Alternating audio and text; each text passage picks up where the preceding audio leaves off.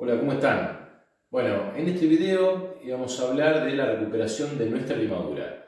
Vamos a, tocar brevemente el paso previo.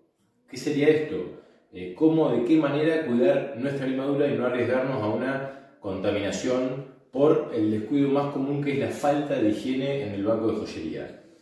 Vamos a mostrar brevemente cómo vamos a trabajar. Siempre abrimos el cajón hasta el final cosa que nos asegure que el material que caiga caiga dentro de la bandeja, ¿sí? Bandeja de chapa, no, perdemos absolutamente nada.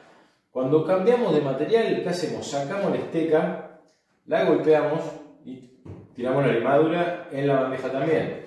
Terminamos de trabajar la limadura a la mano y de la mano a la bandeja. Las herramientas, lo más importante es la lima. Siempre, por supuesto, va a quedar la limadura metida en los dientes de las limas con un cepillo de acero, pasándole a favor del dibujo, podemos volver a rescatar toda la limadura. Siempre teniendo en cuenta el estado general de la bandeja, digamos. Si dejamos mucha mugre, eh, vamos a mermar un montón nuestro material. Entonces, mientras menos herramientas hayan dentro de la bandeja, menos se va a perder el material. De esa manera va a haber también menos contaminación. Teniendo eso en claro, ya podemos pasar a limpiar la limadura y medianamente estar tranquilos de que vamos a obtener un, buen material.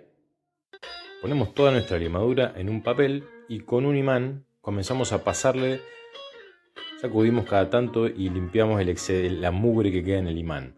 Vamos a repetir ese proceso hasta que ya del imán no salga absolutamente nada de hierro que proviene de las herramientas, del uso diario.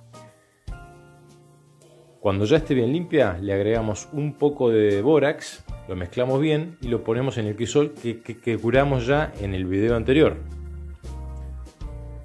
Podemos o no agregarle alcohol y ponerlo sobre la hornalla. Lo dejamos quemando un buen rato. El bórax lo que va a hacer es que el material no se vuele.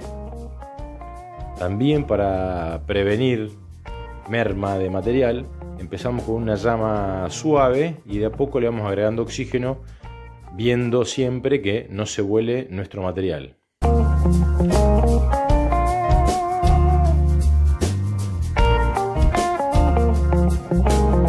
Cuando veamos que se empiezan a formar eh, bolitas ya fundidas, podemos tirarle un poco de bórax para que termine de limpiar. Movemos con movimientos circulares el crisol y ya podemos vertirlo en este caso en la chaponera. Bueno, acá tenemos el, chaponcito que sacamos, todo esto es limadura, lo que limpiamos y fundimos. Está en excelentes condiciones. En el próximo video que vamos a hacer, vamos a ver un poco del proceso de material en la laminadora.